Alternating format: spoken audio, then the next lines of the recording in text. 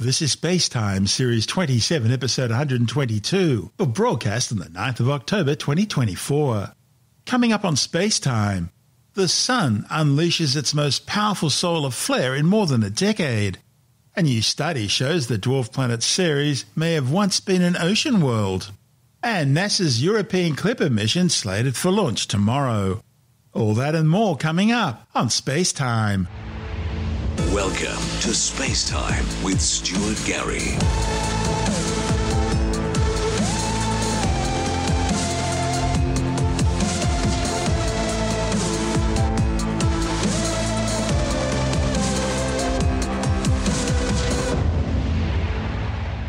The Sun has just emitted its most powerful solar flare in more than a decade. It was one of a pair of solar flares that erupted just two days apart, which were the most powerful in the current solar cycle. The biggest was a spectacular X 9.1 class event, which hit close to the top of the energy scale, and it hurled a coronal mass ejection directly towards the Earth. The powerful blast was generated by the same AR 3842 sunspot group, which had earlier launched an X 7.1 class flare, the second strongest solar flare of the current solar cycle. Both were detected by NASA's Solar Dynamics Observatory spacecraft. The X 7.1 class event hit the Earth on October the 4th as a mild halo coronal mass ejection, and the more powerful X 9.1 blast hit on October the 6th. The dual impact sparked strong G3 class geomagnetic storms with auroral activity reaching mid latitudes. Radiation from the flares ionized the top of Earth's atmosphere, causing deep shortwave radio blackouts. Solar flares are powerful bursts of energy flung out into space as magnetic field lines from deep inside the Sun erupt out above the Sun's surface along sunspots and then snap, releasing energy in the process. These events' classification as X-class flares indicate they're the most intense type of solar flare that's produced, while the numbers provide more information about their strength. Solar flares are classified on a logarithmic scale, similar to earthquakes and tornadoes. If the events are strong enough, and these two were, they can drag solar plasma and magnetic field into space with them. That's a coronal mass ejection. The space weather events, known as geomagnetic storms, can damage or even destroy spacecraft, or at least they can shorten their lives by causing the Earth's atmosphere to expand, and that increases atmospheric drag on the spacecraft. That causes orbital decay, forcing the satellites to use up more of their reserve fuel in order to maintain an operational orbit. Geomagnetic storms can also disrupt communications and navigation systems. They black out power grids on the ground by overloading transformers and they can increase radiation levels for astronauts and even people in high altitude aircraft. Of course, on the plus side, they cause spectacular auroral light displays, usually at higher latitudes, as the charged particles they bring travel along the Earth's magnetic field lines and excite atoms and molecules in the atmosphere, triggering the aurora borealis and aurora australis, the northern and southern lights. Our sun's currently experiencing a massive increase in solar activity as it moves towards the climax of its 11 year solar cycle. The current solar cycle, number 25, began in 2019 and should reach solar maximum, that's the climax of the cycle, sometime in the next year or so, at which point the sun's magnetic poles will quite literally flip polarity, with the north pole becoming south and the south pole north. That won't be the end of the solar storms, but gradually over time they will start to decrease again until they reach solar minimum sometime around 2030. Needless to say, we'll keep you informed. This is Space Time. Still to come, a new study claims the dwarf planet Ceres may once have been an ocean world, although probably a somewhat muddy one. And NASA's Europa Clipper mission to the Jovian ice moon slated for launch tomorrow. All that and more still to come on Space Time.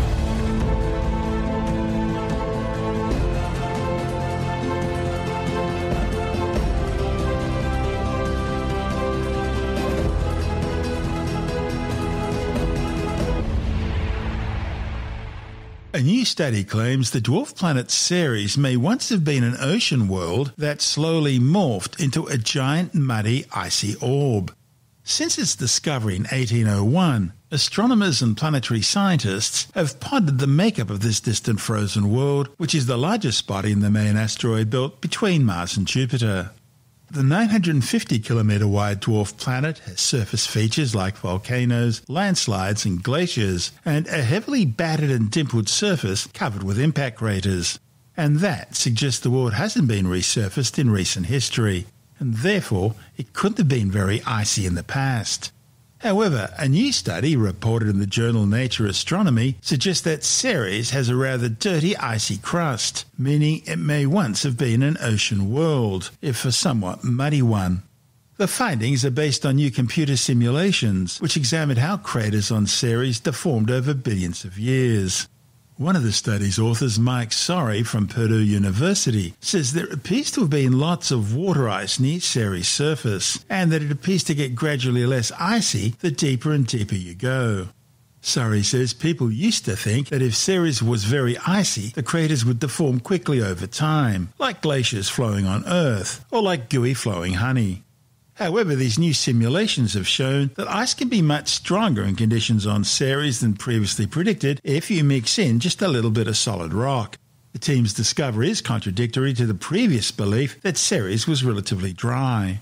The common assumption was Ceres was less than 30% ice, but Sori's team now believes the surface is actually more like 90% ice. Sori says Ceres used to be an ocean world like Europa, the Jovian ice moon, which contains a global subsurface liquid water ocean beneath its frozen crust. However, Ceres had a dirty, muddy ocean. As that muddy ocean froze over time, it created an icy crust with a little bit of rocky material trapped in it. Now, even solids will flow over long timescales, and ice flows more readily than rock. Craters have deep bowls, which produce high stress levels and then relax to a lower stress state, resulting in a shallower bowl thanks to a solid state flow. So, the conclusion after NASA's Dawn mission was that due to the lack of relaxed shallow craters, the crust couldn't be very icy. However, the new computer simulations account for a new way the ice can flow with only a little bit of non ice material mixed in. And that would allow a very ice rich crust to barely flow even over billions of years. And in that way, you could end up with an ice rich Ceres that still matches the observed lack of crater relaxation. To reach their conclusions, the authors tested different crustal structures in their simulations. They found that gradational crust with a high ice content near the surface that grades down to lower ice with depth was the best way to limit relaxation of Cerean craters. Back in September 2007, NASA launched the Dawn mission to visit Ceres and another main belt asteroid called Vesta. It was the first spacecraft to go into sustained orbits around two separate extraterrestrial destinations. Dawn arrived at Ceres in 2015 and remained in orbit studying the dwarf planet until 2018. The authors used multiple observations made by Dawn to provide the data they needed for their simulations. Different surface features such as pits, domes, and landslides all suggest that the near subsurface of Ceres contains lots of ice. And spectroscopic data also shows that there should be ice beneath the regolith on the dwarf planet, and gravity data yields a density value near that of ice, specifically ice loaded with impurities. The authors also took a topographical profile of an actual complex crater on Ceres and used it to construct the geometry for some of their simulations. Sori says it all points to the dwarf planet having once been a frozen ocean world, pretty close in many characteristics other than size to the planet Earth itself. This is space time. Still to come, NASA's Europa Clipper mission, slated for launch to the Jovian ice moon tomorrow. And later in the science report, researchers have for the first time mapped the entire brain of Drosophila, the fruit fly. All that and more still to come on Space Time.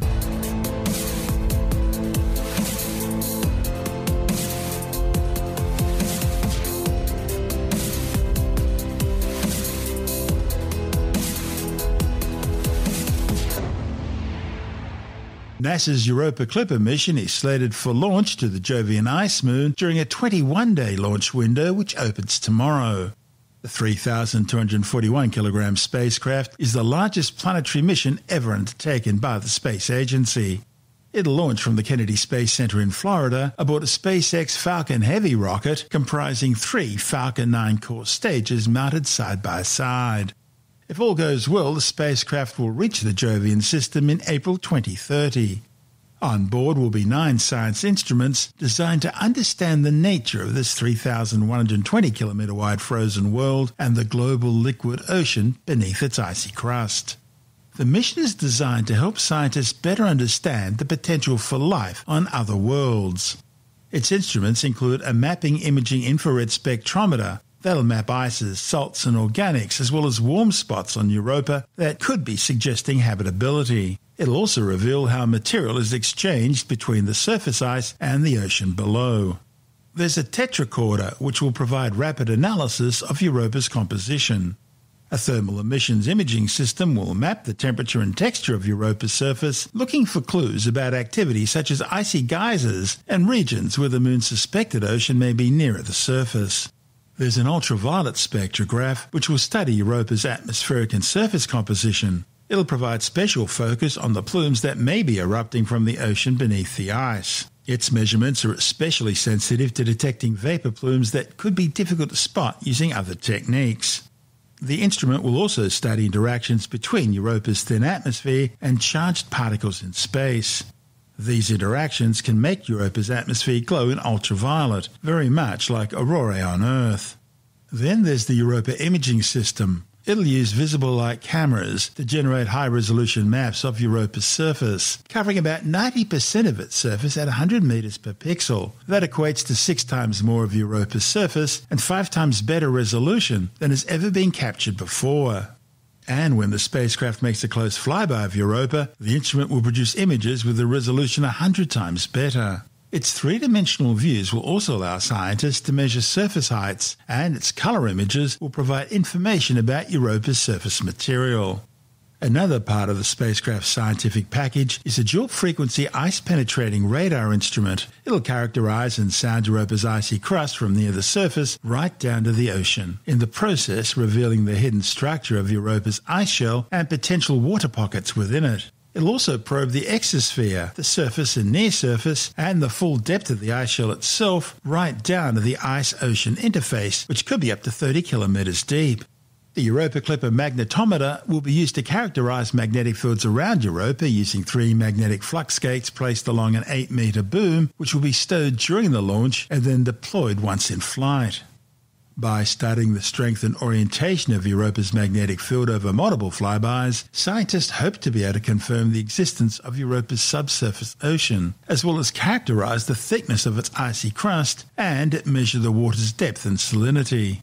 There's a plasma magnetic sounding instrument aboard as well. It'll measure plasma to characterize the magnetic fields generated by plasma currents.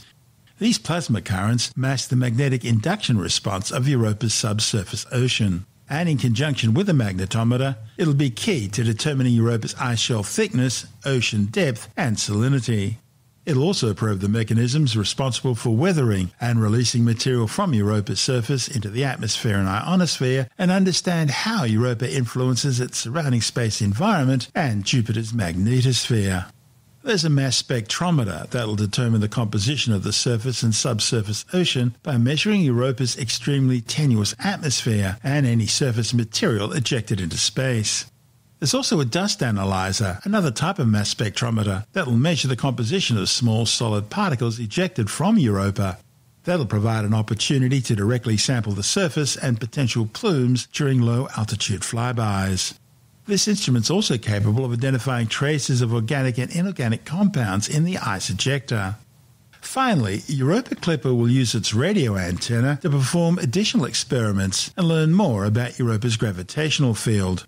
You see, as the spacecraft performs each of its 45 flybys, its trajectory will be subtly altered by the Moon's gravity.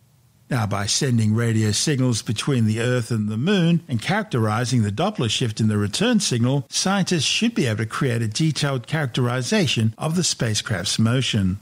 And that data will help determine how Europa flexes in relation to its distance from Jupiter, which in turn will reveal information about the Moon's internal structure and its tidal motions.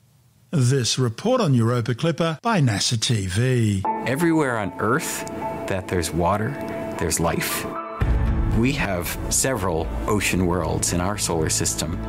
And by exploring Europa, we're getting a taste of what these ocean worlds are like. Europa is one of the moons of Jupiter. It's about about the same size as our own moon, a little bit smaller, but it's so much different. It's an ice world.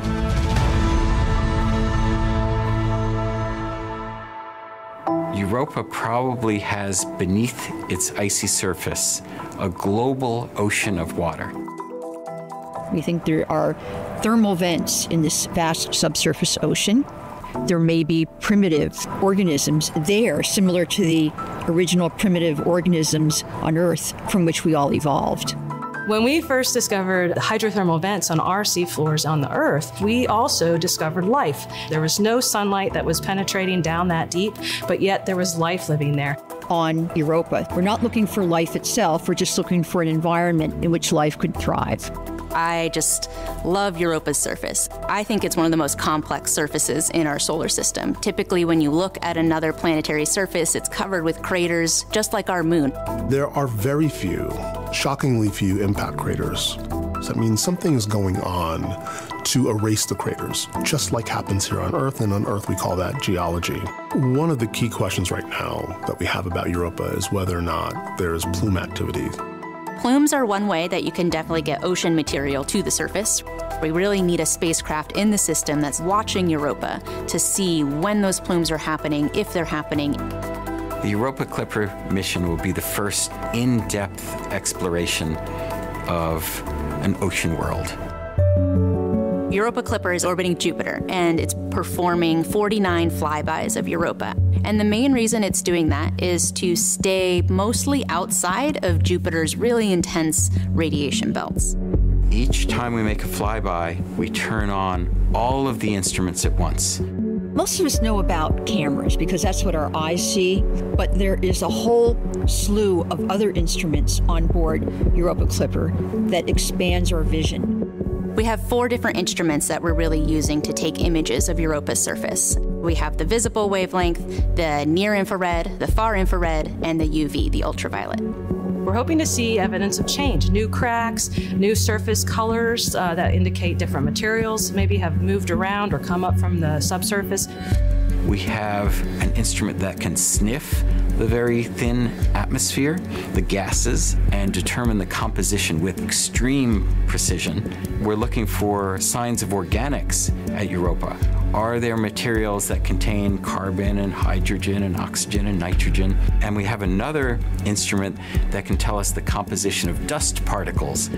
We're pretty sure there are salts on Europa's surface, and those salts may have come out of the ocean. We want to understand what are those salts. We have a magnetometer and a plasma instrument that are going to be studying that magnetosphere environment that Europa is sitting in and, and Jupiter's magnetosphere environment magnetic field of Europa, in turn, can tell us about the properties of the ocean. How thick is it, and how salty is it?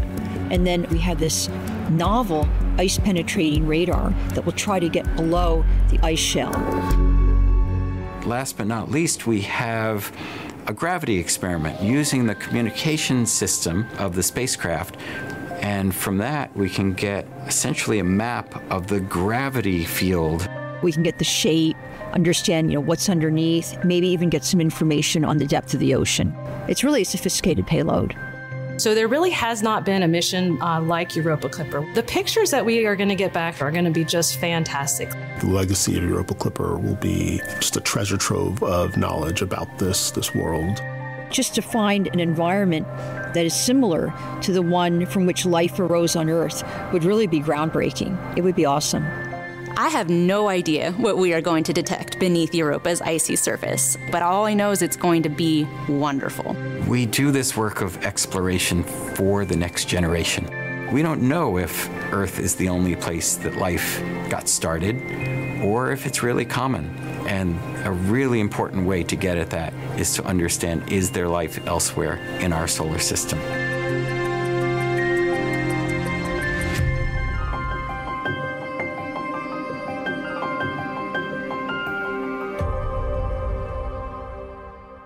And in that report from NASA TV, we heard from Europa Clipper project scientist Robert Pappalardo from JPL, Europa Clipper deputy project scientist Bonnie Buratti, Europa Clipper staff scientist Katie Kraft from the Johns Hopkins Applied Physics Laboratory, Europa Clipper staff scientist Aaron Leonard, also from JPL, and Europa Clipper investigation scientist Sean Brooks.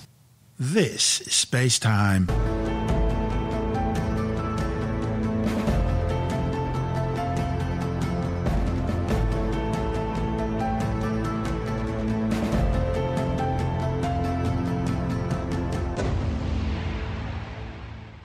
Time now to take another brief look at some of the other stories making news in science this week with a science report. New figures show that more than 47,000 people suffered heat related deaths across Europe last year. The findings, reported in the journal Nature, are based on a modelling study by international researchers. And they claim the figures would have been much higher if people didn't have modern day healthcare and comforts like air conditioning. The authors reached their conclusions based on death data from the European Statistical Office. That allowed them to estimate heat related deaths in 2023 across 35 European countries. The figures suggest that 47,312 heat related deaths may have happened between May 29th and October 1st, 2023, with the highest number of heat related deaths occurring in southern Europe. The authors then estimated what the death rate would have been without modern day advantages. That suggests that the heat related death rates across Europe could have been 80% higher in the general population and 100% higher in the elderly. A new study claims a mysterious type of iron rich magma entombed within extinct volcanoes is likely to be abundant in rare earth elements. The findings, reported in the journal Geochemical Perspectives Letters, could offer a new way to source these metals. Rare earth elements are important to modern society. They're found in everything from smartphones and flat screen TVs through to magnets, trains, and missiles. They're also vital for the development of electric vehicles and renewable energy technologies such as bird killing wind turbines. Scientists have for the first time mapped the entire brain of Drosophila, the fruit fly. A report in the journal Nature claims this new map can teach researchers about brain function. The authors say the fruit fly brain has around 140,000 neurons and more than 50 million connections. That's around a million times fewer neurons than most human brains. They say despite its size, the fruit fly brain is still used for a range of complex behaviours by the insect, and that makes it an ideal starting point to help them towards their eventual goal of mapping other species, including the human brain. There'll be a new update for Windows 11 coming out next month. With the details, we're joined by technology editor Alex Zaharov-Reutt from Tech Advice TechAdvice.life. So, well, this is called the Windows 11 24H2, so the second half of 2024. And normally these things are not always bringing new features. I mean, sometimes they are, obviously there's bug fixes, but this time, if you have a Windows Plus Copilot PC, which is one of the new ones with the, the chip inside that does the uh, artificial intelligence with the neural processing unit, you'll get the new recall feature in preview, which takes screenshots of everything that you're doing and uh, allows you to search through those screenshots and actually interact with them. You don't have to bring up the actual Word or PDF document, for example, you can copy and paste text and copy images from it. But you'll now have to have Windows Hello or your fingerprint or a password to enable access to that. Nothing is meant to be going back to Microsoft. And uh, there's additional features inside that basically take advantage of the fact that the AI chip can sit there and help you to you know, remember things and find things that a normal search cannot. And you can also pause the uh, recall feature if you're going to sites where you don't want it to remember anything, maybe your banking site, for example, or other sites that you're on, and uh, it's supposed to give your PC a photographic memory. And it's actually quite a smart idea, but the way that Microsoft rolled it out at first and basically promised security when nobody believes Microsoft can deliver a secure version of Windows, naturally people were uh, a bit concerned about it and it got paused. And so this is meant to be coming in November, one of the, the big features. There's also a thing called the click to do feature.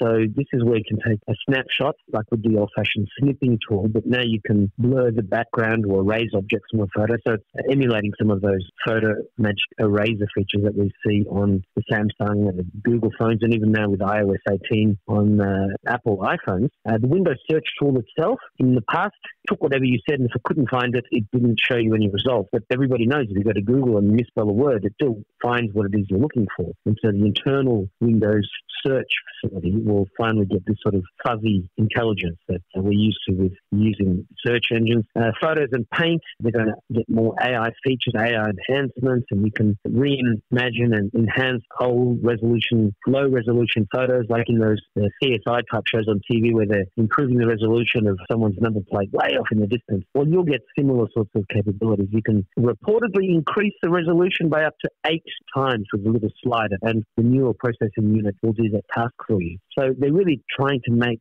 you feel like your PC without AI features is going to be old. They want you to upgrade, and uh, no surprise there. Everyone's doing the same thing. My Apple's the macOS Sequoia now has a bunch of AI features built in. The Google phones are all coming with Gemini, which is their version of AI, and the, the use cases are coming out thick and fast. But still, for most people who haven't used it yet, they're still sort of yet to try it and see the wow for themselves. But pretty soon, every device will just come with AI as standard, and we'll have the pre-AI era and the post-AI era, and we're firmly into that now. And all the companies want you to upgrade. But of course, if you wait until next year, you get even better PC, smartphones, and tablets with even better AI features. I had an interesting experience day before yesterday. I was uh, organising an interview and via email, and in the email, one line I said was, "I'll give you all the details in the attachment." And that was all I said, and I was just about to send it off, and then Outlook reminded me you haven't added your attachment yet. So it was obviously watching Yes. what I was doing. No, look, yes and no. I mean, I've seen Google do that as well. And the trigger is the word attachment. I have an attachment. And then if the email program sees, well, hang on, there's no attachment attached to this email, I mean, it says, well, hey, hang on, you mentioned an attachment in your email, but you haven't sent one. I don't think it's actually going through your email and Look, I, I, didn't mind because I, I had forgotten to add the attachment, but it was still disconcerting for me. I guess it's going to become a lot more disconcerting in the future when your computer actually is reading and understanding what it is you're saying. At the moment, it's just a trigger for the word attachment, and, and it's like it's like a new send statement. You know, if the user said attachment and there's no actual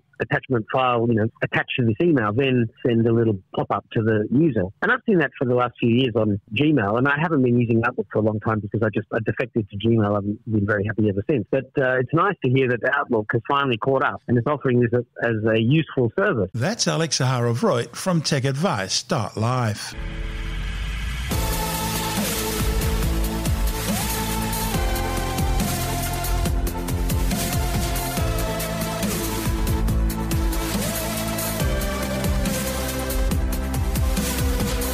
that's the show for now.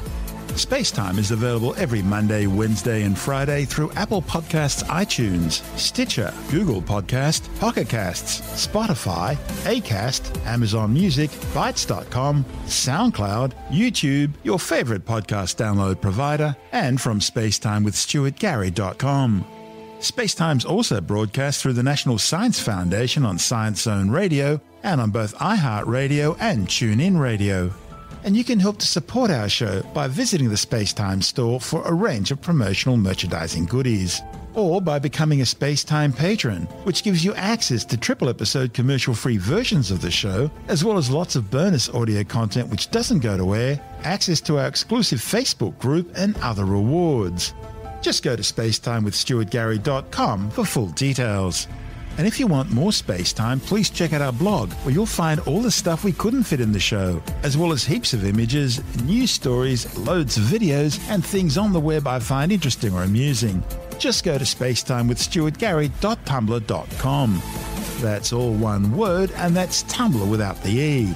You can also follow us through at Stuart Gary on Twitter, at Spacetime with Stuart Gary on Instagram, through our Spacetime YouTube channel, and on Facebook, just go to facebook.com forward slash spacetime with Stuart Gary.